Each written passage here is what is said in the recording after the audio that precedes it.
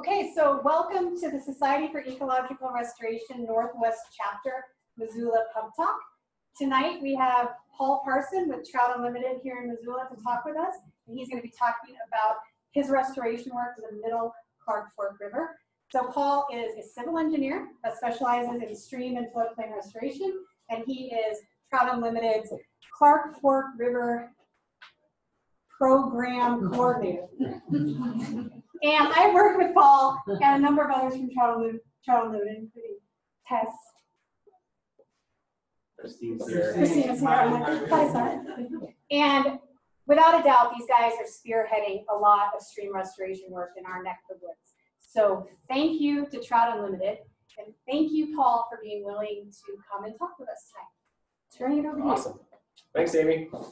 Um, thanks, everybody. Thanks to uh, Imagine Nation for having us. And um, thanks to Amy for inviting me to do this. So my name is Paul Parson, and I do run a restoration program for this section of the Clark Fork. And Trout Unlimited has a lot of project managers like myself spread throughout the country, and we're lucky enough that in Missoula we have basically five of us based out of here that leave and spread out all over, including Christine, who's right there. Christine runs all over this part of Montana doing projects for us, um, and Tess also is running our, our uh, program in Rock Creek. So a lot of good work happening all over. But tonight I want to focus on the Middle Clark Fork, which is basically we can we can put the boundaries on it from where the Blackfoot comes into the Clark Fork all the way down to where it hits the Flathead. You can picture that if you go down past the St. Regis and down to where it runs in down by past Perma, that area. Um, so that's the Middle Clark Fork, and that's really where a lot of my work is focused. Um, good or bad, a lot of my work is focused on mine reclamation. Uh, and we'll go over this, a couple different kinds of mine reclamation as we work through this.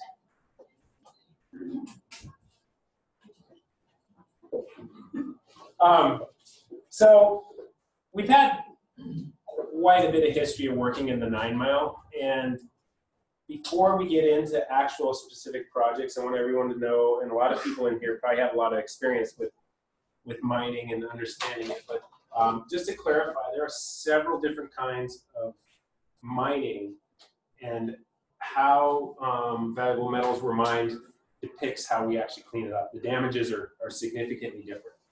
So the first thing that I want to talk about is hard rock mining. And that is where we have uh, ore that's contained in a, a, body of rocks. It's usually quartz. Um, so it'll be gold, it'll be a vein. And so they, they actually tunnel in. It's what you think of typically tunneling in and crushing up rocks. And that's usually um, a lot more, has a lot more contamination because you're dealing with chemical components to, to grind up this ore and treat it. And that's what we see here. These are mine tailings. You notice how everything is really green and lush all around here? Nothing will grow in this because this is mine tailings. This is Kennedy Creek in the nine mile drainage. Um, there were several mines in this little stream um, that occurred around the 1940s. But this is real typical of what you see in a hard rock mine site. So there are thousands of these throughout the West. Uh, these abandoned mines, these hard rock mines that look like this where nothing's growing. This is rock that's been crushed up. It's been tunneled in, pulled out of the side of the mountain, crushed up, and usually arsenic is kind of the, the chemical of choice to precipitate out the metals. That's why nothing will grow on this. You also notice that our stream, this is a small valley system. You see some cedars here, and there's some spruce and some alder. But the stream's been pushed to the side of the valley because it essentially dumped all these mine tailings in the middle of the valley that pushes the stream over. So I just, I'm going to give a couple of project examples of just how we look at these sites, assess them, and then work through the restoration process. And I also want to talk about, there's a difference between restoration and reclamation. So a lot of times when we're dealing with a mine like this, we've got to reclaim the site. We, we basically have to remove the pollutants and the, the physical properties that are, are um, I guess, contaminating the site before we can start the restoration process. So a lot of times we start with the reclamation project before we start the restoration process. So this is this is a time lapse camera that I had set up on this project.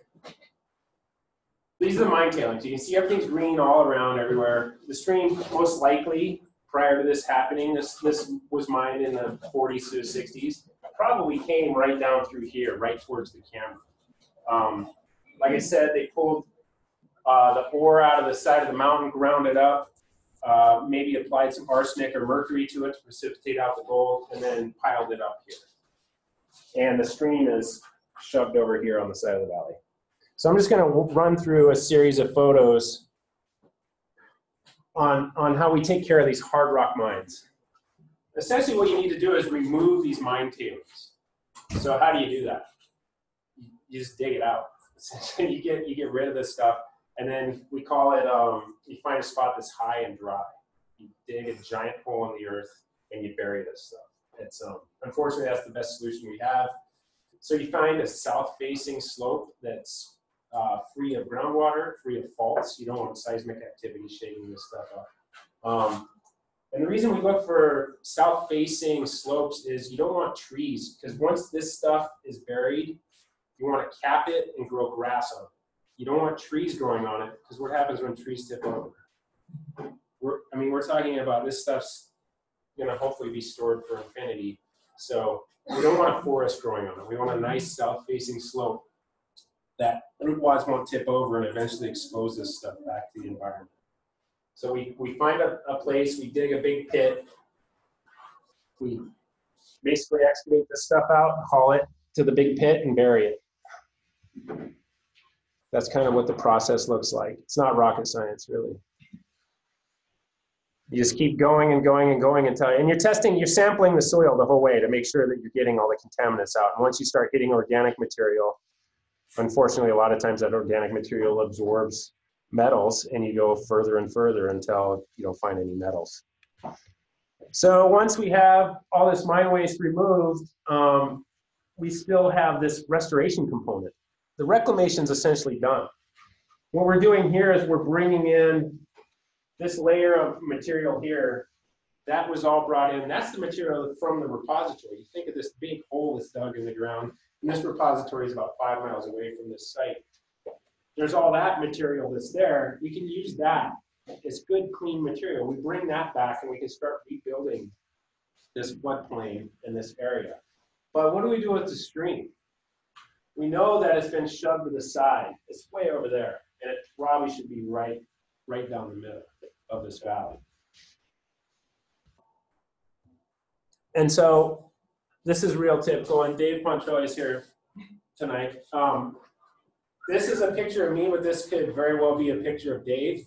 Um, that's the look we usually have after our reclamation work is done and we're thinking, how do we create this stream from scratch?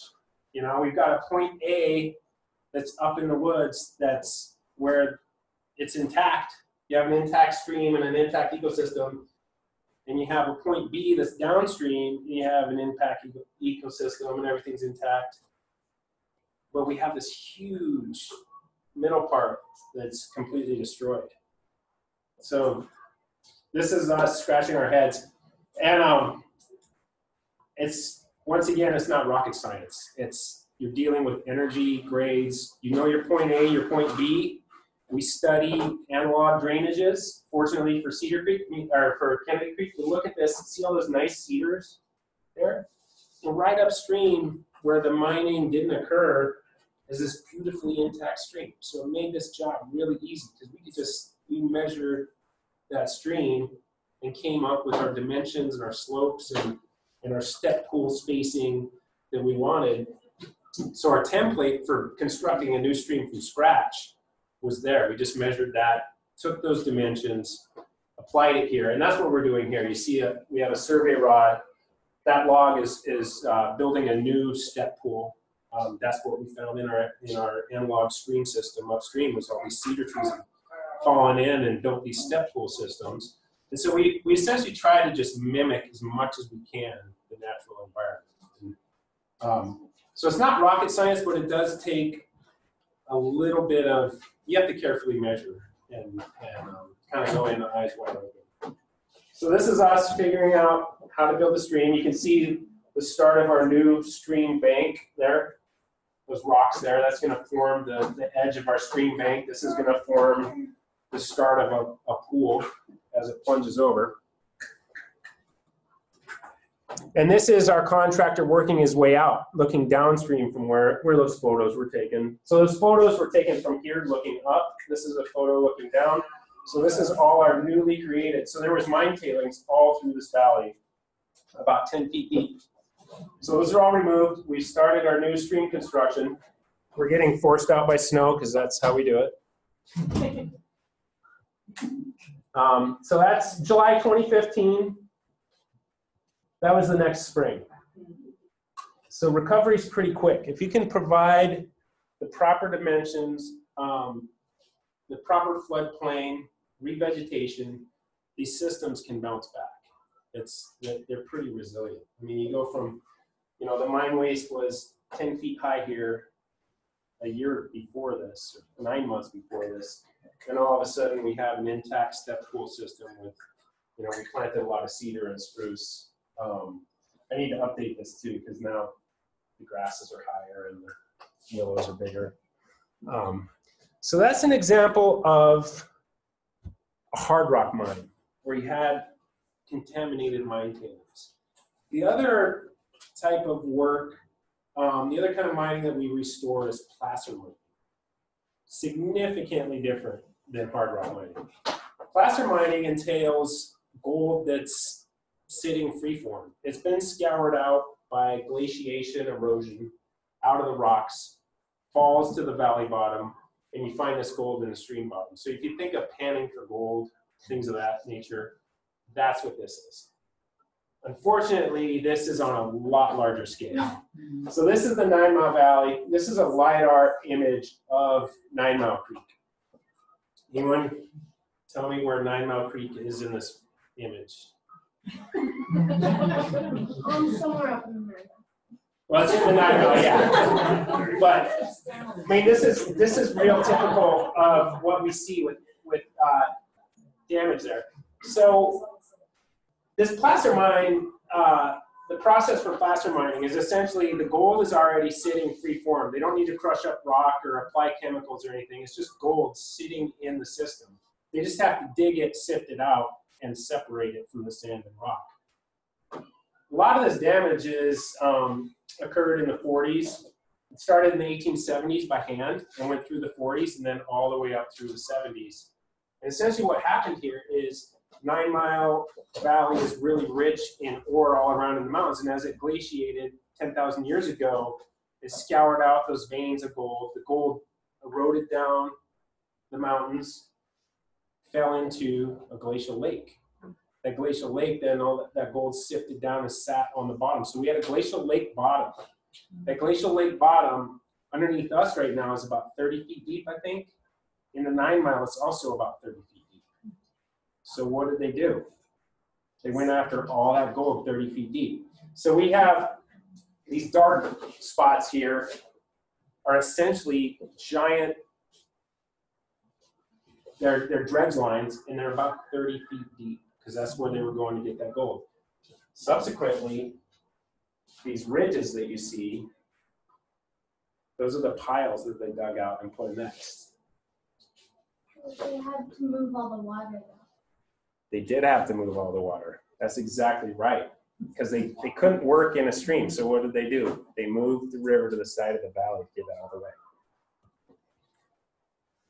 So this is a um, this is a design drawing that we have that essentially shows a current condition and then our proposed condition. So this blue is an area that's too low. So if you picture a stream system that's been cut 30 feet down, it's confined, it's straightened, there's no floodplain, it's just like a fire hose, right?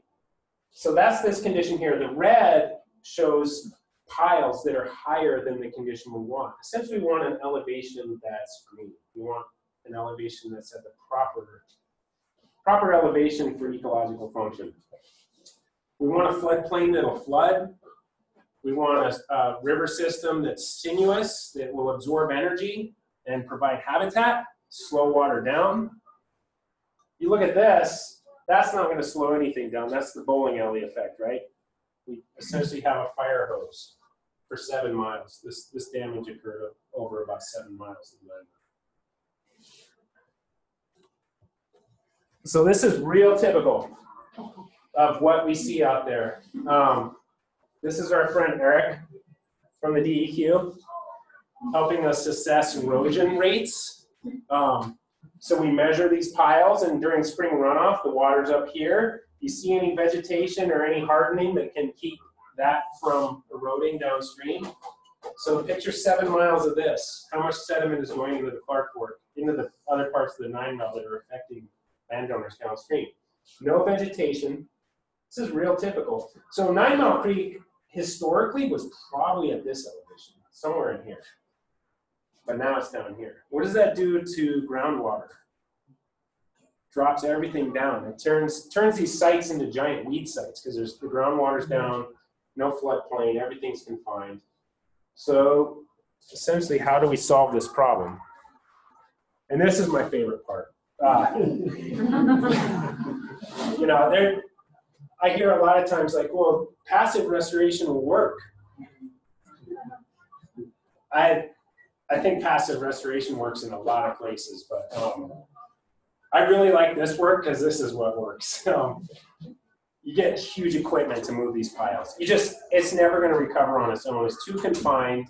The, the elevation of the, the stream is too low. So what you have to do is remove these, these placer mine piles. And, and mind you, this isn't contaminated work. They just were digging and sifting this gold out. There weren't chemicals applied. There's not crushed ore, of that. So this is basically rocks and dirt. So what we can do is move these piles and basically fill those holes where they created. All the material that we need is there. We just regrade this whole valley. It's essentially what it is, is a valley restoration. It's not a stream restoration project.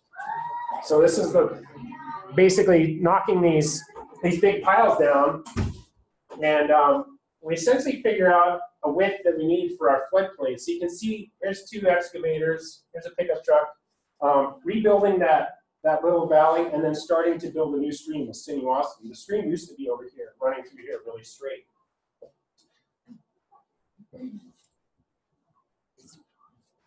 Um, we also like to play around a little bit. So it's not just trout habitat we're concerned with. We're also um, basically concerned with riparian areas and, and full stream corridors. These aren't just fish projects. So we started with this concept of, you know, we're leveling these valleys pretty much to rebuild a, a small valley and rebuild a stream, but we're also, we're starting to, to put snags back up for uh, nesting birds and other functions. Try to jumpstart this process of healing.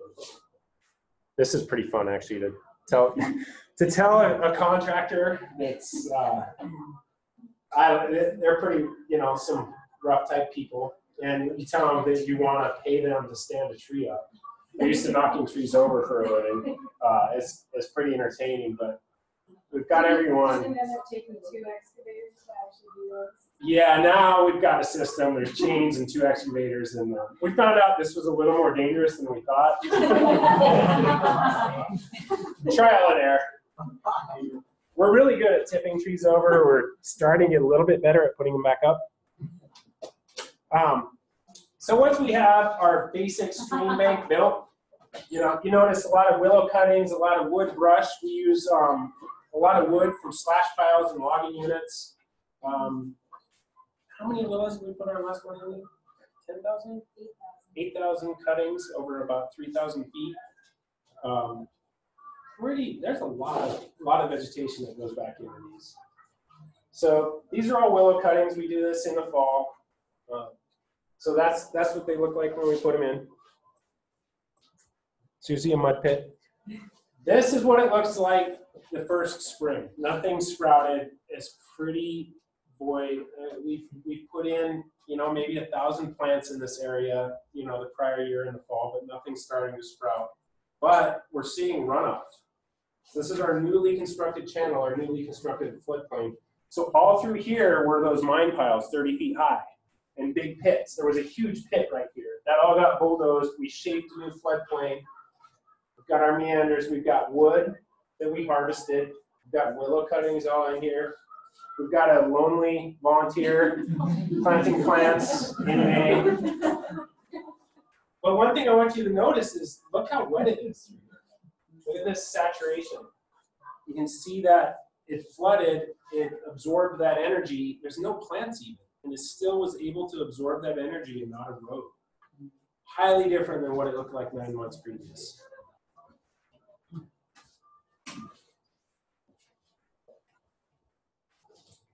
So this is just an overview of what these projects do. So here's, it's hard to see, but I'll point it out. So here's Nine Mile Creek. So you see that straight line? That's what, what we showed earlier. Okay, and then you see, here's one of those pits. It's hard to see because Nine Mile is really wet, so there's a lot of vegetation, so it's, people don't think it's that jacked up, but it's pretty bad. Um, a lot of the shrubs cover up a lot of the, the function of the system. So you have this, this highly entrenched, um, downcut stream system here that's totally bound by mine piles. Just really straight. We have some dredge ponds there. And then this, this through here, this area is about a 20 foot high mine pile. It's hard to see from this area, but that's a, that's a big mine pile that runs down this way. And I just want you to look at this. Keep your eye on this area here, okay? This little dredge pond complex.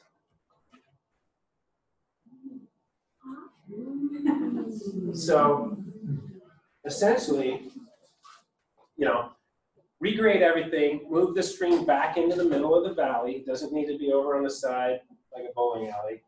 Um, those dredge ponds then become a wetland complex. And Amy's been really, I'd say, driving this construction process to the point where we're having a they- yeah, You're gonna the contractors hate Amy because she flags everything and says, do not touch this. This is, has high ecological value. And we actually, um, we've changed our design significantly based on Amy's guidance with her knowledge of wetlands and plants and knowing this is an amazing intact wetland or, or she sees something and she wants to, we'll regrade everything to make sure that we can save those plants. And, um, at first, I mean, being a civil engineer, I just want to bulldoze everything. But now I follow Amy. Yeah, now I follow Amy around, like, okay, what else are we gonna save now? Um, so now we have this system, you know, you see a pool riffle system, you can see these riffles are a little bit, little bit shaded, and then the pools are on these outside bends. And that's a close-up of that system. So here's our, our former channel that was straight, and we turned that into a wetland complex. It's amazing how many frogs and salamanders are in this within the first. These are all new wetlands that were created out of those dredge ponds. And this is our new channel. And you can, this image really shows, like, you can see these deep pools, you can see these riffles. It's essentially providing a, I mean, it's hard to tell that that was constructed two years prior.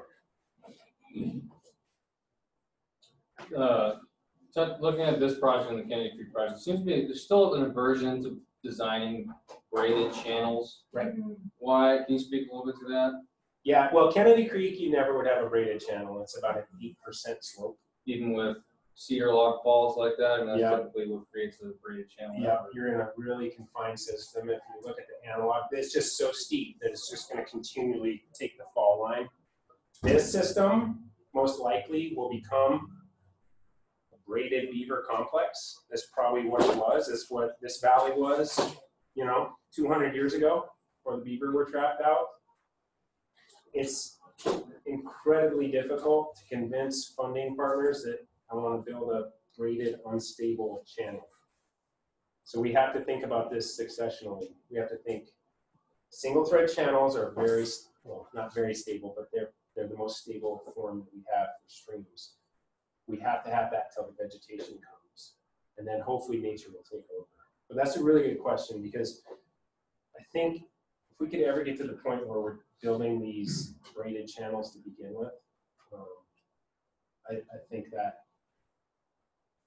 it it's a good idea. I think for people's comfort level, I mean, this was the first project of this scale that had happened in this region. So we had a lot of funders that were kind of, I don't, you know, this was a million dollar project. A lot of people, a lot of money going into this with people saying, I don't know, you guys are crazy. You're some hippies from Trout Unlimited.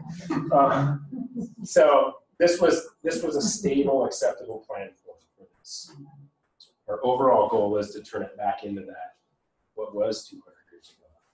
And I'd add, Paul, that like, I mean, as this project has progressed phase by phase, that it's getting messier and messier. And Amy can take a lot of credit for that, but like the side channels that are being Oh, built in are maintained, and the connectivity to the channels are definitely increasing each, with each phase as we go Exactly. on, and as we become more comfortable with. we're getting a lot more leeway and um, I mean the bottom line on a lot of this stuff is driven by funders. It's you're only going to go as far as people will let you go with their money. This isn't our money. This money is DEQ, DNRC abandoned mines, FWP. They've never seen anything like this. This is the first placer mine project of this scale anywhere. So And let's talk about this more at the end, because there's a difference between a braided channel and a multi-thread anastomosing channel. And definitely, we are experimenting with how to have a primary thread channel with multiple channels that are activated, not just high flows, but moderate flows. And the last reach we just built, I think we kind of Yeah. nailed it. So we're I don't know if you have pictures with that, but you're totally right. We need to progress that way. Yep. And this was finished five years ago now. So Yeah, this was every 2014. phase, we're integrating that more. But there, but there is a difference between braided and multi-thread, and this would have been a multi-thread system, very much controlled by beavers. right? Exactly. That's, it's an awesome topic, so maybe let's talk about it. Yeah, no, that's a really good point. And yeah, I, I think we're trending that way. Totally. The more comfortable we get, because we've seen some. And the more people see it, like you said, funders and permitting, permitting agencies, the more they see those integrated features and see that they're not gonna destabilize, they're actually gonna make it more stable and Mhm. more balanced, they're getting on board with it for sure. All right, so this was taken a year after restoration, after we moved the channel over here, built this. So just keep an eye on this. And we're gonna talk about what's our overall goal long-term. Because this, you know, we're one to two years in at this photo. Um, And I, at this point, I'm ecstatic. I'm thinking, wow, we're doing it. This is awesome. But I'm gonna go back up. Okay, keep your eye on this tree. This is a fir tree here. This is the top of Riffle. This is kind of a pool complex coming around this corner. These next photos are gonna be taken from right here, looking up, all right? So this was a photo taken in 2017. You notice the height of the willows. Remember those willow cuttings we were putting in? So what we've seen anecdotally is after about year three, so this is 2017, this was built in 2014, year three, the vegetation really starts to take hold. Those willows are about three to four feet high. Beaver have not been in this reach for over 100 years, we think, since this mining damage occurred. There's an intact beaver complex above here. They've tried, they'll come down, they'll set up a beaver, you know, a structure, and then it blows out every spring because what do you have? You have that fire hose. Mm-hmm. So they cannot survive in this area. Also, there's not enough food for them. Willows can't survive in this area. But what have we provided? We provided more floodplain, a slower system, and all of a sudden, three years later, the willows are three to six feet high. Look what happened last fall. We have new beaver dams on this. So, while we built a single thread channel, what is this gonna lead to? This is our overall goal, right? To have this beaver complex with a, a complex, wet, valley-wide braided channel system. We didn't build it, but it's happening because we built the proper floodplain dimensions and we had proper stream dimensions. It relieved enough pressure. And we'll see, I mean, this was built in, um, September of this last year. We'll see if it's still there. I think there's enough floodplain capacity that this can hold, but we'll see. And that's checked water up enough that it's overflowing into a swale Yeah. and we constructed it reflowing back into the channel. Yeah. So So essentially that beaver dam is like right here. So all of this area is completely saturated. And we have multi-thread channels coming all through here. So that's exactly, that was exactly what your, your point was. And initially we thought this might happen within twenty to fifty years. And it happened within four years.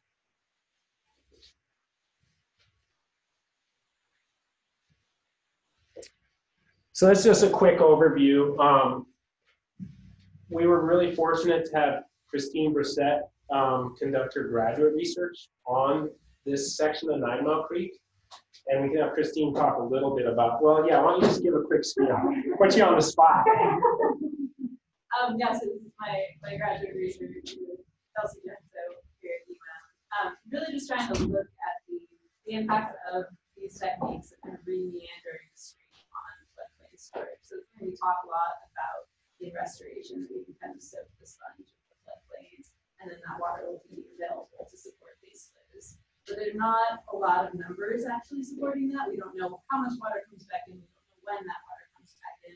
There's a lot of anecdotal evidence that works, but actually quantified evidence is not there. And so, as part of my graduate of my graduate research was working on this nine mile project, trying to quantify that using a bunch of different methods. Um, and what we saw was that yes, in fact, restoration does promote storage. So we could see that storage in the floodplain, floodplain wells.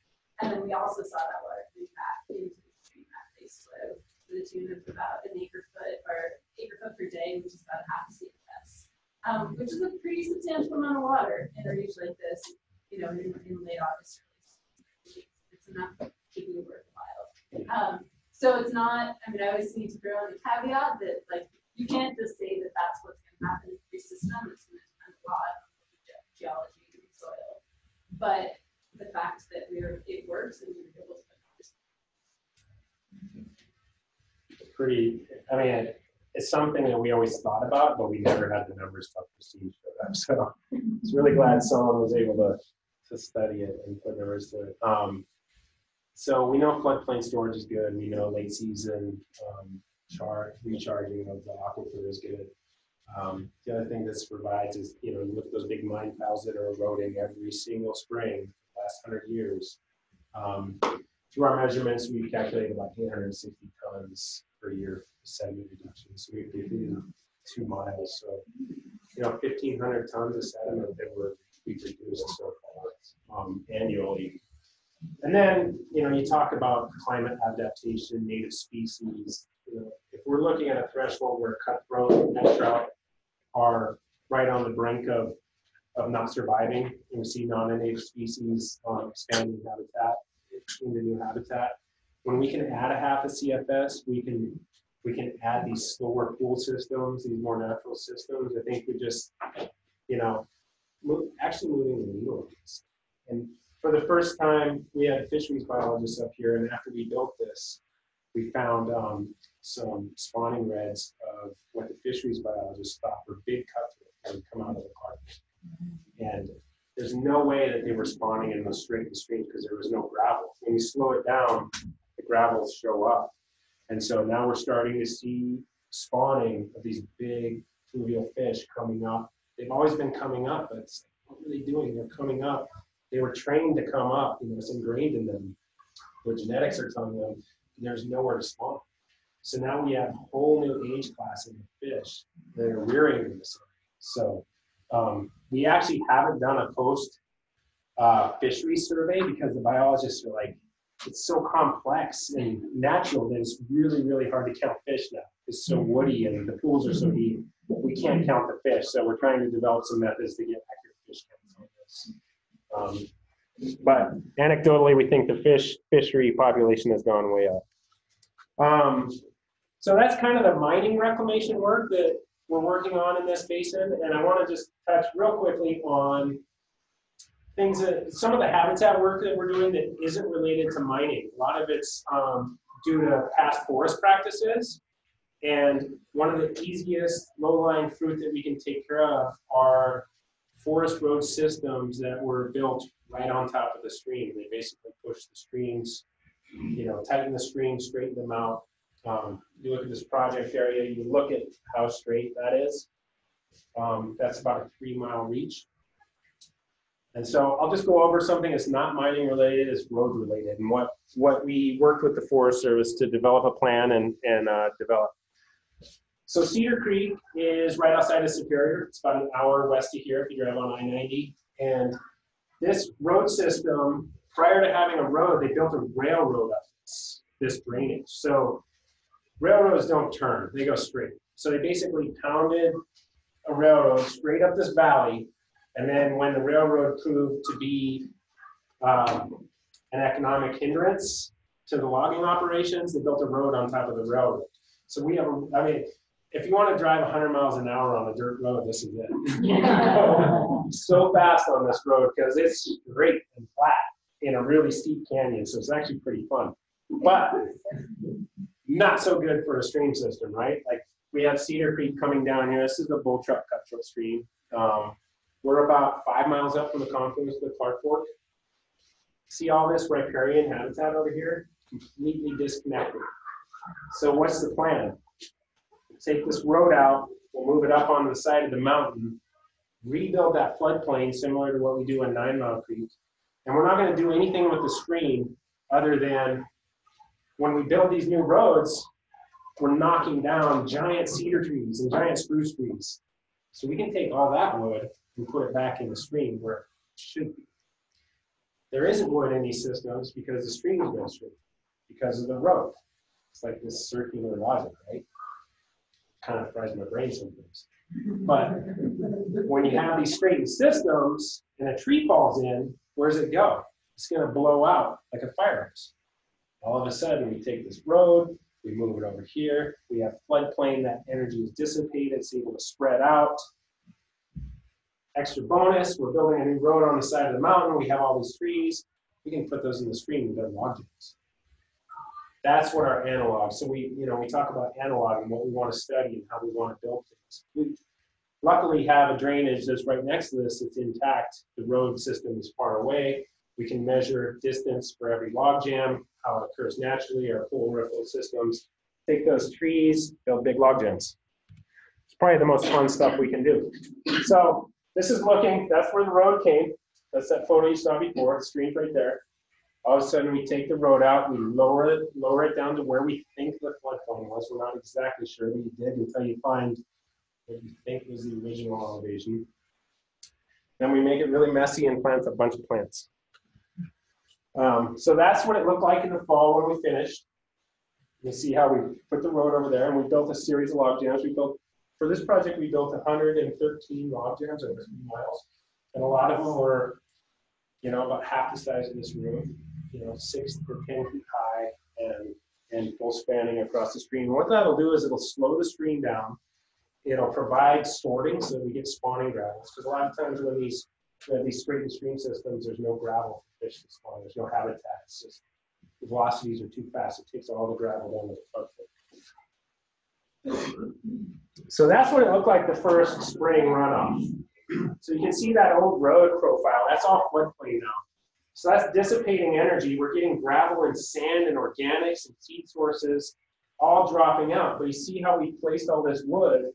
That's absorbing all that energy. Before, I mean, look how look how skinny that stream is.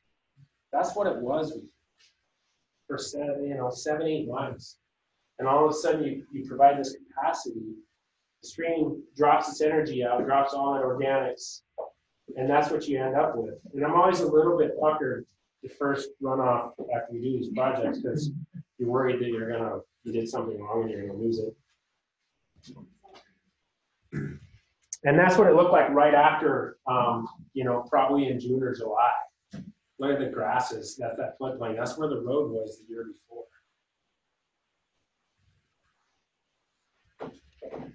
And then lo and behold, what happens when you provide floodplain capacity, you put log jams in, uh, you know, you provide some resistance, we've got beavers moving in. So now they're gonna take over the. It's like a recurring theme. If we can just jumpstart these ecosystems, natural processes, they'll just kind of take over for themselves. You have to provide the proper dimensions and form though. So here's a new beaver lodge. This is one we completed two years ago, year and a half ago, and then we came back the next year and one below we had a Beaver Lodge. That's the fisheries biologist for Lolo National Forest because we were finding spawning redds behind these log jams where the graphics. Previously, the spawning redds didn't, didn't exist in this whole reef since 25 months. Um, also on Cedar Creek, I want to say the fishery studies are showing that we're seeing a sevenfold increase in fish populations through this reach, so it's working. Um, so in summary, um, those are kind of the work that we're doing in this drainage. We've got another project in Cedar Creek we're going to do this year. Uh, we, we're going to take out some roads in Fish Creek for se- sediment reduction. We have another phase in Nine Mile Creek, about um, 4,000 feet in Mile Creek we're going to redo. And then we're working on a Superfund site in Superior to remove some mine tailings hard rock. Um, and then this is a photo of, anybody know? Rattlesnake Dam. Um, my colleague Rob Roberts is currently driving, he's a driving force to, it's like his personal mission to get this thing up. Um, it's, you know, right up to Rattlesnake below the trailhead there. And I think we're doing pretty well on fundraising. The planning is coming along, so that's, you know, if everything goes according to plan, like it's moving, you know, that dam will be coming out probably in 2020. So that's pretty cool. So that's essentially what we have going in the middle Clark Fork right now. That's all I have. Thank you.